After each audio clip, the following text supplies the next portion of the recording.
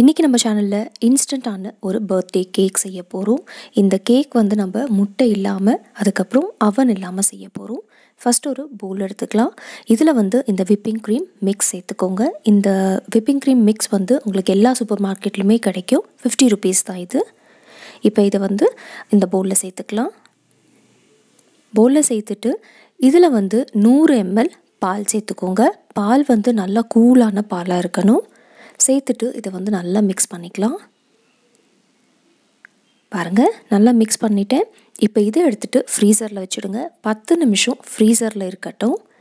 Ten minutes ஃப்ரீசரில் இருந்த பிறகு இதை எடுத்துட்டு இதை வந்து நம்ம எலக்ட்ரிக் பீட்டர் வச்சு நல்லா பீட் பண்ணிக்கலாம்.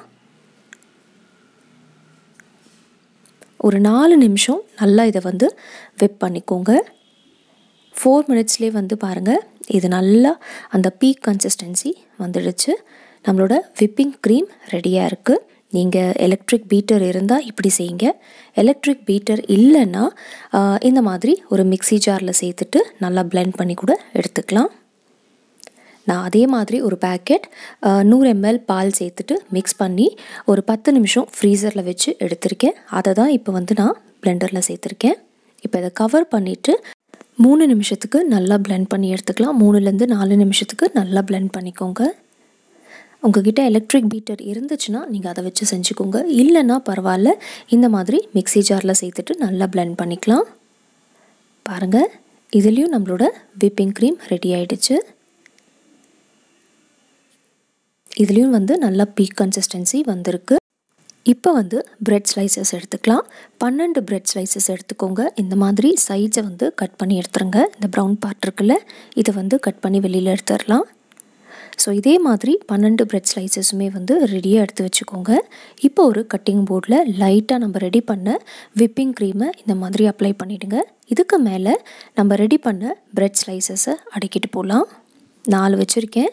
இப்போ இதுக்கு மேலே நம்ம ரெடி பண்ண விப்பிங் க்ரீமை நல்லா ஒரு திக் லேயர் ரெடி பண்ணிக்கோங்க. இப்போ இதுக்கு மேலே திருப்பி ப்ரெட் ஸ்லைசஸ் வச்சிடலாம். ப்ரெட் ஸ்லைசஸ் வச்சுட்டு இதுக்கு மேலே வந்து சுகர் வாட்டரை கொஞ்சமாக அப்ளை பண்ணிக்கோங்க. நான் கால் கப் தண்ணி எடுத்திருக்கேன். அதில் வந்து ஒரு டேபிள் ஸ்பூன் அளவுக்கு சுகர் சேர்த்துட்டு அதை வந்து நல்லா மிக்ஸ் பண்ணியிருக்கேன். அதை வந்து அப்ளை பண்ணிவிட்டு அதுக்கு மேலே திருப்பி விப்பிங் க்ரீம் சேர்த்துக்கலாம். விப்பிங் க்ரீம் வந்து கொஞ்சம் திக்கான லேயராக சேர்த்துக்கோங்க.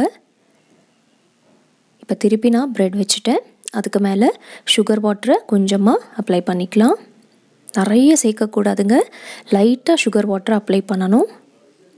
விப்பிங் க்ரீம் சேர்த்தாச்சு. இப்போ மேலே ஒரு லேயர் போட்டுட்டேன். சைட்லேயும் வந்து நல்லா இந்த மாதிரி விப்பிங் க்ரீம் வச்சு கவர் பண்ணிடலாம்.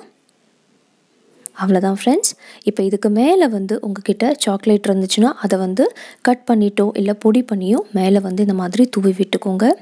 உங்ககிட்ட சாக்கோ சாக்கோ சிப்ஸ் இருந்தால் கூட நீங்கள் அதை கூட மேலே வந்து டெக்கரேட் பண்ணிக்கலாம். இப்போ விப்பிங் க்ரீமை வந்து ஒரு பைப்பிங் பேக்கில் சேர்த்துட்டு இப்படி டெக்கரேட் பண்ணிக்கோங்க. ரொம்ப சிம்பிளான ரெசிபிங்க. கண்டிப்பாக உங்கள் வீட்டில் இதே மாதிரி ட்ரை பண்ணுங்கள் எனக்கு வந்து நம்ம விப்பிங் க்ரீம் பவுடர் யூஸ் பண்ணோம்ல இன்ஸ்டன்ட் மிக்ஸ் யூஸ் பண்ணோம்ல அது வந்து ரெண்டு பேக்கெட் தேவைப்பட்டுச்சு. பாருங்கள் நல்ல ஸ்பாஞ்சியான டேஸ்டியான கேக் நம்ம ரெடி பண்ணிட்டோம். கண்டிப்பாக நீங்களும் இதே மாதிரி ட்ரை பண்ணிவிட்டு மறக்காமல் உங்கள் ஃபீட்பேக் எனக்கு ஷேர் பண்ணுங்கள் என் வீடியோ பிடிச்சிருந்துச்சுன்னா மறக்காமல் லைக் அண்ட் ஷேர் பண்ணுங்கள் காயூஸ் கிச்சனுக்கு சப்ஸ்கிரைப் பண்ணிக்கோங்க.